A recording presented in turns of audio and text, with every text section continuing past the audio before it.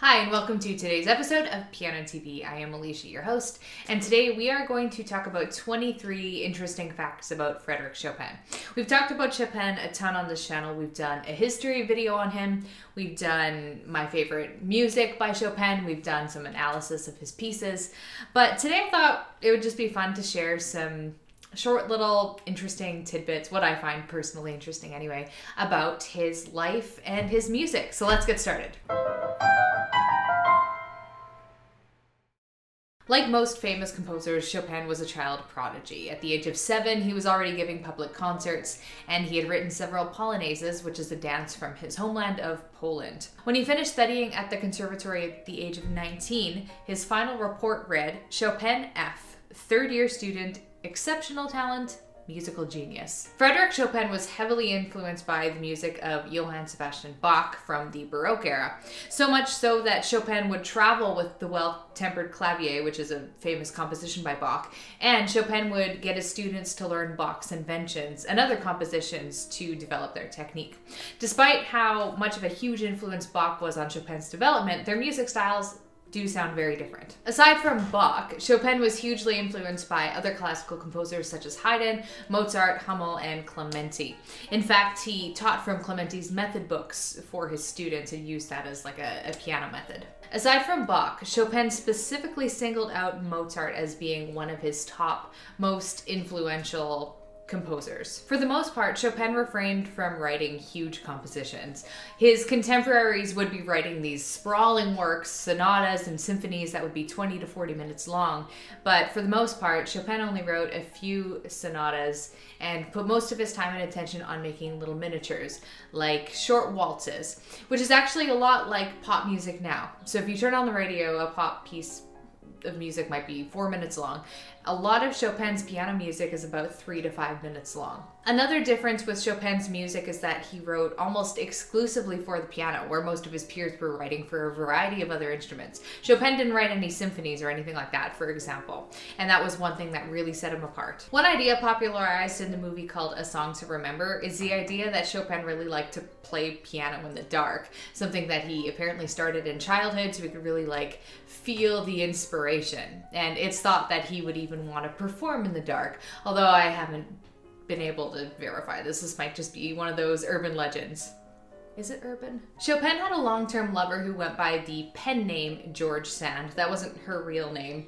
Uh, it was just her author name because people were more likely to read something that sounded like it was from a man. George Sand gave Chopin a slew of cutesy nicknames such as Chop Chop, my Little Grasshopper, and Monsieur Velvet Fingers. Chopin's piano composition, the Opus 64 Waltz, is nicknamed the Little Dog Waltz because apparently Chopin was inspired by George Sand, Little Dog, who was running around in a circle and chasing its tail. George Sand was Chopin's most long-term life relationship, but it was a really rocky relationship, and eventually it ended when George Sand accused Chopin of being into her daughter which is kind of weird and probably untrue, but George Sand was a very interesting character. And they didn't always hit it off. Chopin, upon first meeting her, said, Is she even a woman? She's just like, you know, smoking cigars and being all obnoxious. The next several points on this list are going to have to do with the relationship between Chopin and Liszt, who were musical contemporaries and probably best described as being frenemies. Liszt actually wrote the very first biography on Chopin's life, and 27 years after the death of Chopin wrote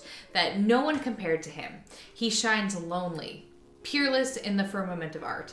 Clearly, the two of them had a lot of respect for each other and they performed together a handful of times as well, but it was a little bit of a love hate relationship.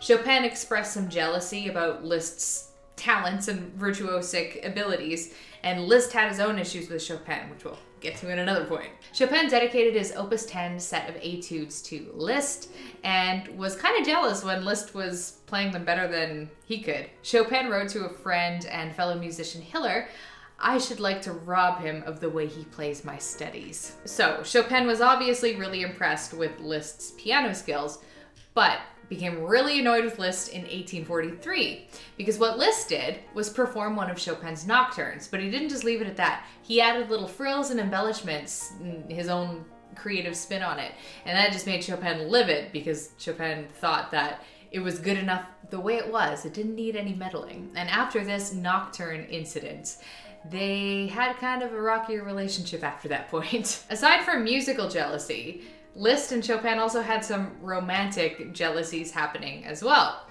Chopin dedicated his Opus 25 set of etudes to Marie d'Agoult, who was Liszt's lover. But Marie was pretty obsessed with Chopin, and Liszt was like, What are you doing, bro? Dedicating your music to my woman. And aside from that, Liszt and George Sand, Chopin's lover, became close, and Chopin wasn't really cool with that either, so they were just doing some weird swapping. Chopin was almost immediately well loved when he first moved to Paris as a young adult.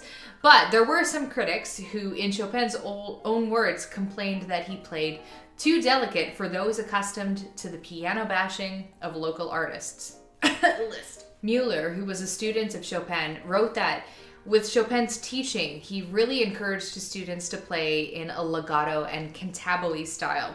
Chopin was really, really concerned with students being able to play uh, to join two notes together properly.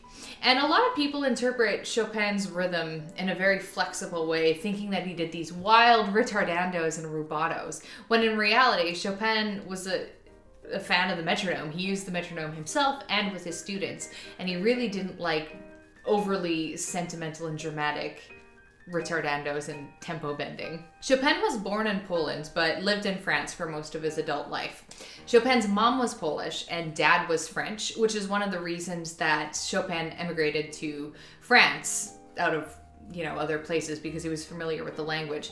However, Chopin never truly became comfortable with the French language and even though he held a, a French green card, he always identified as being Polish at his core. A mazurka is a traditional Polish dance, and Chopin single handedly popularized the genre in Europe. The mazurka was virtually unknown at the time. And what he did is he transformed the mazurka from something you would just dance to to something that could actually be listened to in concert halls. And the mazurkas he wrote are often very virtuosic and difficult. Chopin earned most of his income from patrons of the arts and from teaching piano lessons. He really disliked performing in public concerts and only performed approximately 30 times in his entire life. About public concerts, Chopin had this to say. Concerts are never real music. You have to give up the idea of hearing in them all of the most beautiful things in art. Instead, he would just prefer to perform at a friend's house or in a salon. Frederic Chopin was basically frail and ill throughout most of his life, maybe even to the points of exaggeration. Hector Berlioz said, Chopin has been dying all of his life.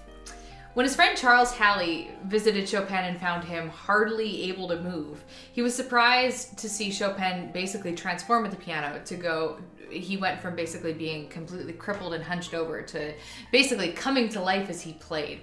And George Sand often commented about how Chopin, his illness was probably more in his head than in reality. Of course, Chopin's illness couldn't have been all in his head because he died at the age of 39, probably almost definitely of tuberculosis.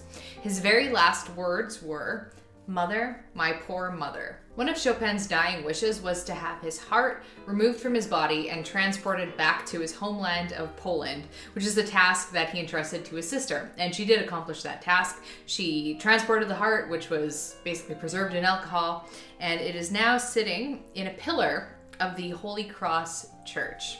One of the reasons he probably wanted his heart removed is because Chopin had a terrible fear of being buried alive. Another one of Chopin's dying wishes was that all of his music that he had never published be destroyed.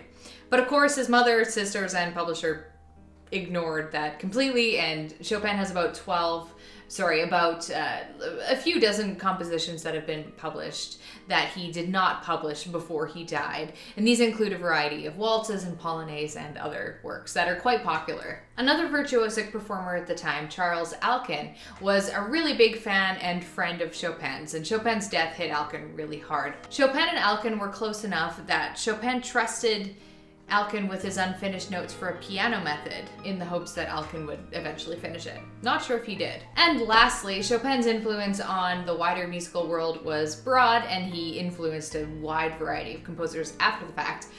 Maybe most notably Claude Debussy, who was a very famous 20th century composer. Debussy dedicated his piano etudes to Chopin. He studied Chopin's music in school, and he even edited Chopin's music for publication. And there you have it 23 interesting tidbits about Chopin, things that I thought were interesting anyway. I hope you enjoyed this video, and please give it a thumbs up and subscribe if you haven't already. I really appreciate that, and I will catch you in the next video. Be sure to also check out the social sites and links at the end of this video, and check out some of our other Chopin videos if you want to learn more about this really interesting and awesome composer.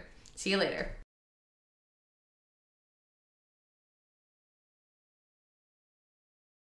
And Liszt was able to play them better than Chopin thought that he could play. And even edited some of the uh, some of Chopin, and even edited. Ugh,